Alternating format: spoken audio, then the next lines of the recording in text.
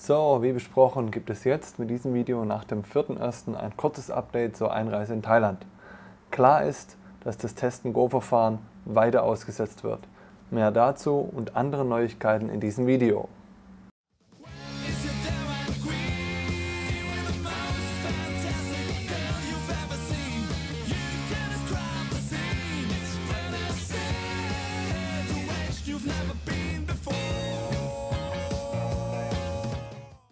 Hallo miteinander, wie geht's euch? Wenn ihr neu auf meinem Kanal seid, ich bin der Georg Tai Tai und ihr seid auf MyThai24. Legen wir gleich los mit den Updates zur Covid-19-Lage in Thailand und zur Einreise in Thailand.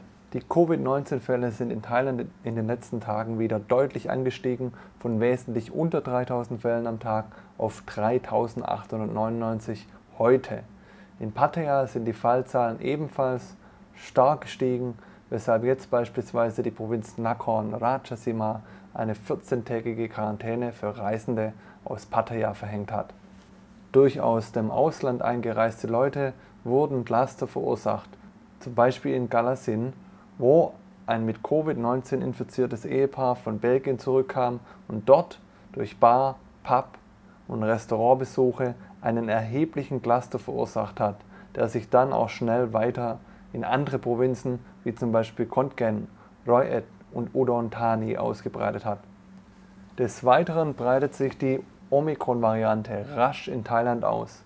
Von ca. 200 bestätigten Fällen am 24.12. auf 2338 Fälle am 5.1., also heute. In insgesamt 55 Provinzen wurden jetzt schon Omikron-Fälle gefunden. Deshalb wird die Aussetzung des Test-and-Go-Verfahrens, in dessen Rahmen man ohne Quarantäne in Thailand einreisen konnte, verlängert. Voraussichtlich wird die Aussetzung mindestens bis Ende Januar weitergehen. Der Einreisestopp nach dem 10.01.2022 für alle Leute mit einem genehmigten Thailand-Pass ist wieder im Gespräch. Darüber wird diesen Freitag, also am 7.01., entschieden. Wichtig zu wissen ist, dass man mit dem Thailand-Pass bis zu 72 Stunden nach dem im Thailand-Pass angegebenen Einreisedatum noch einreisen darf. Aber davor geht nicht. Also das Vorverschieben von Flügen, damit man noch spätestens bis zum 10.01. in Thailand einreisen kann, bringt nichts, da man den Thailand-Pass in diesem Falle neu beantragen müsste, was derzeit nicht möglich ist.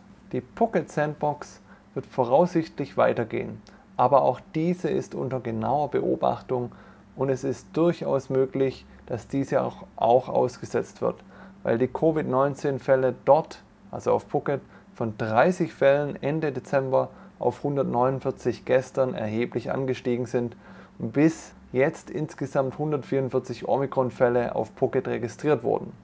Falls dieses ebenfalls ausgesetzt würde, könnte man in Thailand nur noch mit mindestens sieben Tage Quarantäne in einem Hotel, einem sogenannten Elder Native State Quarantine Hotel, einreisen. Durch die wieder angestiegenen Covid-19-Zahlen wird die für 16.01. offizielle Wiedereröffnung von Bars, Pubs, Discos etc. wohl auch bis mindestens Ende Januar aufgeschoben werden. Übrigens ist die Khao San Road für drei Tage geschlossen, weil sich herausgestellt hat, dass zehn Covid-19 positive Touristen dort waren.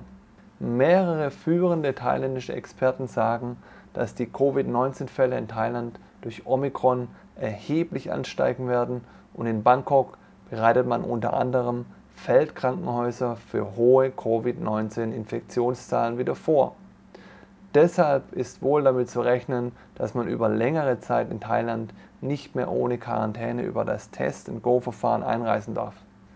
Bei der Sitzung der CCSA, CCSA, also der thailändischen Covid-19-Situationsverwaltung, am 7.1., diesen Freitag, werden weitere Details beschlossen. Also mehr Klarheiten wird es an diesem Freitag geben. Danach werde ich nochmal ein Update-Video machen. Falls ihr Fragen habt oder etwas hinzufügen möchtet, schreibt es bitte in die Kommentare. Wenn das Video für euch informativ war, bitte Daumen hoch klicken. Danke. Ich werde bald weitere interessante und informative Videos über Thailand auf meinem Kanal haben. Bitte abonniert meinen Kanal um diese nicht zu verpassen. Vielen Dank fürs Zuschauen und bis zum nächsten Mal. Ciao.